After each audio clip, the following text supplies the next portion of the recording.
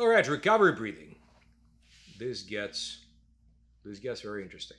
There are two levels. The the bottom technique that we're talking about, it's not so much for recovery, it's just for developing some very good habits and for training effect.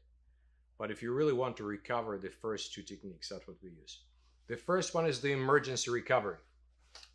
When do you do emergency recovery? You do emergency recovery when you're about to speed up along, when you have just run for 100 meters and life is very unattractive to you at this moment.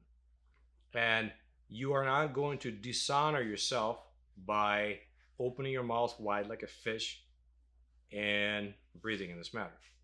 So, what you do is you use fractional breathing for your emergency. The, the only difference, are two differences that are made. First of all, inhalations are done through the nose, not mixed anymore.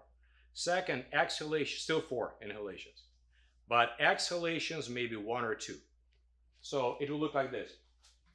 And start with exhalation, lead up.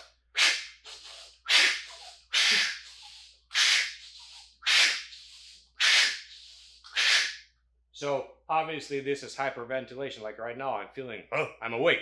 I'm awake. So yes, that can also be used for that, if uh, in moderation.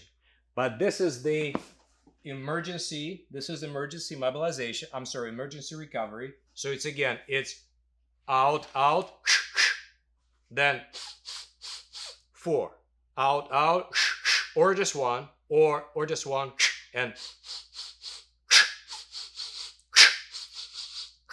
So that's how you do their emergency. This, you perform several cycles, several cycles of this type of breathing, and very rapidly you're going to be able to clear the CO2, the non-metabolic CO2.